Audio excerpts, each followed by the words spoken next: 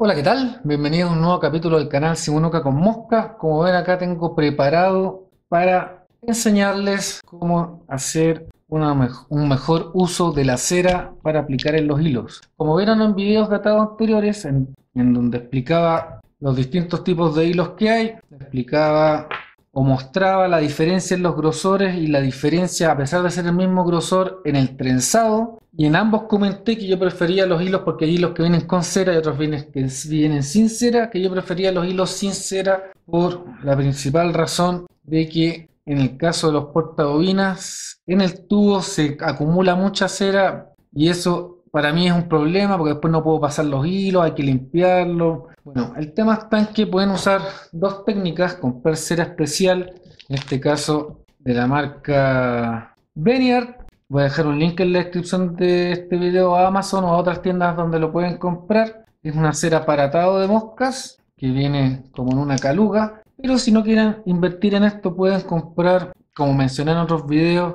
una barra de pegamento. Cualquier barra sirve y eso les puede servir porque la cera se utiliza para dos cosas principalmente. Uno, lo que más se utiliza es cuando uno hace dubbing y pone dubbing en el hilo para que el dubbing se adhiera adecuadamente al hilo. Y dos, porque hay veces que cuando uno está tratando ciertos tipos de material en el anzuelo, con un poquito de cera evita que se resbale el material y el resultado final de la mosca sea una mosca más consistente, más firme y que dura más tiempo en el agua. En el agua me refiero pescando, ¿cierto? Durante el día. Bueno, para no andar con uno de estos acarreándolo en todos lados, lo que, sé, lo que hago yo es una idea que copié de David McPhail no sé si lo pronuncié bien o no.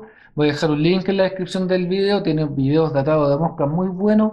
Es socio, no sé si es socio, pero es atador oficial de la empresa Fulling Mill. Fulling Mill hace distintos tipos de materiales, partidos en anzuelos, son muy buenos anzuelos. Voy a dejar un link en la descripción del video. Esta no es mi idea. Entonces los materiales que necesitan es una toalla nova, un bol con agua caliente, la cera obviamente. Voy a dejar un link, repito, en la descripción del video. Algunas bolsitas en donde guardar los chips que vamos a preparar. La idea que copié básicamente es transformar esto en chips y esos chips al ser pequeños uno los coloca en esta parte del dedo. Entonces cuando uno está atando y quiere encerar el hilo, uno pasa el dedo solamente porque tiene el chip puesto aquí en el dedo. Pueden ver videos datados de este personaje, se van a dar cuenta, es bastante cómodo estas bolsitas además no las compré, las guardé de los bidgets que me compré en MaxCatch. Antes yo usaba principalmente esta cera, pero ahora vamos a utilizar esta técnica. Voy a abrir esta bolsita.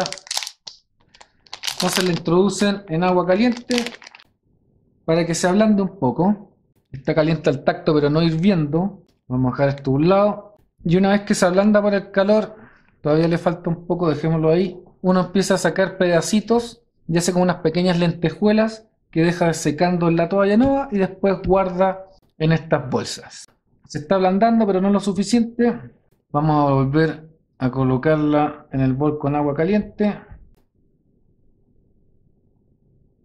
Y después hacemos lentejuelas como esta. Vamos sacando de la orilla y vamos dejando en la toalla nueva.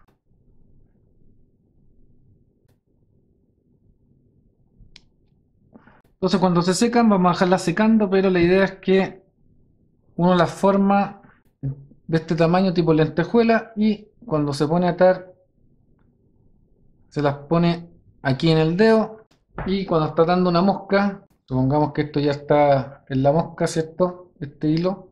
¿Cómo aplicar la técnica? Uno mantiene la cera en esa parte del dedo si es que es diestro y cuando está colgando nuestra bobina del anzuelo, uno pone el hilo sobre la cera, aprieta con el pulgar y desliza. Y con eso el hilo absorbe un poco de cera y nos permite fijar de mejor manera, nuestro material. No les voy a mostrar todo el proceso porque ya se hicieron una idea. La lenteja es más o menos del porte, más o menos del porte de una uña. Hacen varias y con eso tienen para atar cómodamente y aplicar cera a los hilos que compren sin cera. Voy a terminar el proceso y les voy a mostrar cómo queda en estas bolsitas. Ok, ya terminé el proceso, quedaron bien. y las guardamos entonces en bolsitas plásticas Ziploc. Es importante que sepan que no se pegan entre sí cuando están guardadas, siempre y cuando las mantengan en un lugar fresco y seco. A fresco me refiero a que no alcance mucha temperatura para que no se peguen entre sí. Las vamos a guardar. Mientras tanto, recordarles que estoy en proceso de hacer un sorteo. Voy a sortear esta prensa. Estén atentos. En el video que haga el sorteo voy a dar todas las instrucciones. Así que no se pierdan esta serie de videos datados que les van a servir para aprender, elegir materiales, etcétera. No solamente hacer moscas. Entonces las guardamos. La idea es que no guarden mucho en una bolsa, pero todas las que ven aquí es lo que salió del pack que venía. Recordar que voy a dejar links en la descripción del video donde pueden comprar esto.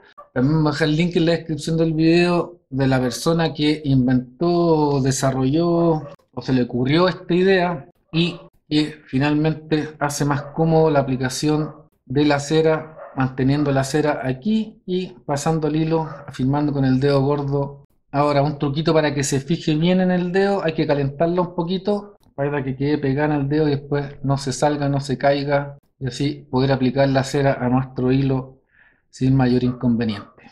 Yo voy a seguir guardando esto, no quiero alargar el video, espero que este video les haya gustado. Si les gustó, denle like, compártalo con sus amigos, no olviden de suscribirse al canal y como siempre nos veremos en una próxima oportunidad.